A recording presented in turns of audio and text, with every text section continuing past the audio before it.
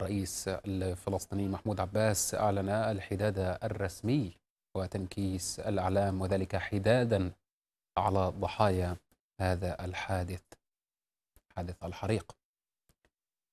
وزارة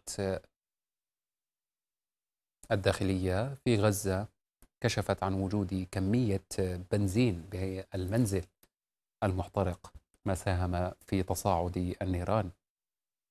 كما أكدت وزارة الداخلية في غزة على تشكيل لجنة مختصة للتحقيق في ملابسات هذا الحادث الأليم والمفجع. الفصائل الفلسطينية بدورها أيضا أعلنت الحداد الوطني على أرواح الضحايا الذين قضوا في مخيم جباليا. من جانبه أيضا تقدم القيادي الفلسطيني محمد دحلان بعميق المواساة وأحر التعازي في ضحايا كارثة الحريق المفجع في مخيم جباليا شمالي قطاع غزة مطالبا بالبحث في كل ما يتوجب عمله وذلك لمنع وقوع كوارث مستقبلية تفجع الفلسطينيين. نتحول إلى مراسلنا في قطاع غزة وبالتحديد من شمال القطاع محمد الدعور. محمد الصورة لديك الآن. نعم. إن كنت تسمعني. محمد هل لك أن تنقل لنا الصورة؟ نعم نعم.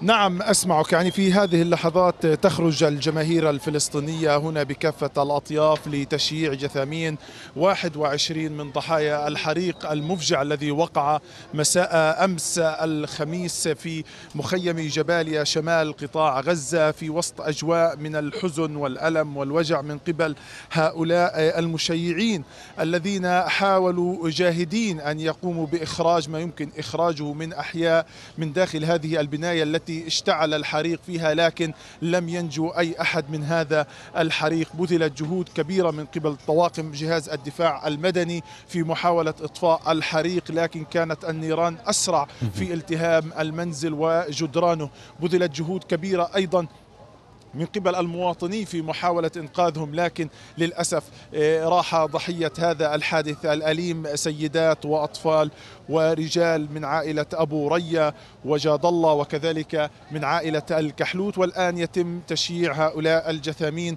في موكب مهيب خرج من مسجد الخلفاء الراشدين في شمال قطاع غزة وصولا إلى يعني مقبرة بيت لاهية حيث سيوارى جثمان هؤلاء الضحايا الذين سقطوا وكانت هذه مناسبة خلال الكلمات التي تم إلقاؤها داخل هذا المسجد بضرورة أن يتحرك العالم العربي والإسلامي ومد قطاع غزة بما يلزم من معدات تخص جهاز الدفاع يعني مع كل المؤازرة.